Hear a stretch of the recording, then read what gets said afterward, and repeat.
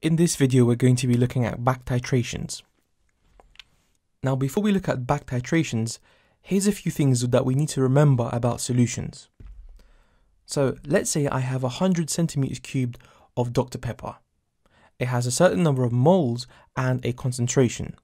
Now, let's say my friends are coming over and I don't have enough left. The first thing that we could do is add water to this and dilute it. Let's say now we have 200 centimeters cubed of Dr. Pepper. The moles will be the same because the number of sugar particles in the original and in the new are going to be the same. We haven't added or removed any particles. However, because the volume is much larger, the concentration will have decreased. The second thing we could do is take an aliquot, which means take a small sample. Let's say, for example, we take out 20 centimeters cubed of Dr. Pepper. Here, the moles will have reduced because the small sample will have less particles compared to the original. However, because the volume is also smaller, that means the concentration remains the same. Another thing that we could do is take a small aliquot and then add water to it. Here, the moles will have reduced, just like in the previous example.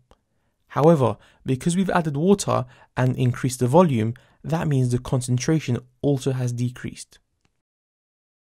Okay, here's a question on back titrations. We want to work out the value of X in this hydrated sodium carbonate. To do that, we need to work out the MR. Let's say the MR was 178 for example. Then we could work out the value of sodium carbonate using the periodic table. That's 106. Subtract 106 from both sides, leaving you with x times water equals 72. Then work out the value of water, which is 18, and then divide both sides by 18, leaving you with x equals 4. Okay, so in this question, to work out MR, we need to know mass and moles. We've already been given the mass, however, we haven't been given the moles. 3.5 grams of hydrated sodium carbonate is placed into a beaker and made up to 250 centimeters cubed with water. A 25 centimeter cubed sample is taken from this original beaker. This is then titrated with hydrochloric acid, requiring 24.5 centimeters cubed of a 0.1 molar solution. Now remember, we wanted to work out the moles of sodium carbonate. We can start off by working out the moles of hydrochloric acid, using the formula moles equals concentration times volume over a thousand. This gives us 2.45 times 10 to the power of minus 3. According to the balanced equation, we can see that hydrochloric acid and sodium carbonate have a 1 to 2 ratio. That means I can divide the moles of hydrochloric acid by 2 and work out the moles of sodium carbonate. But remember, this is in the 25 centimeter cube sample.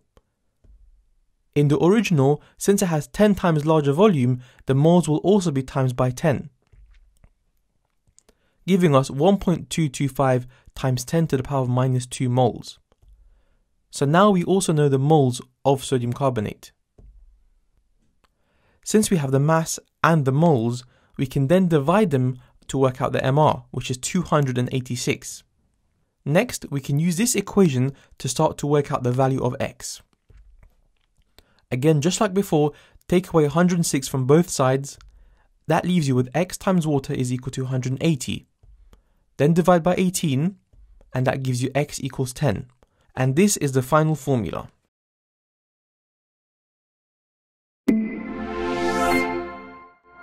Hey guys, if that video helped you, support our channel by liking, subscribing, and sharing it with your friends.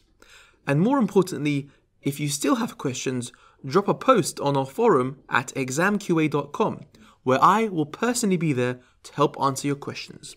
Mohammed signing out.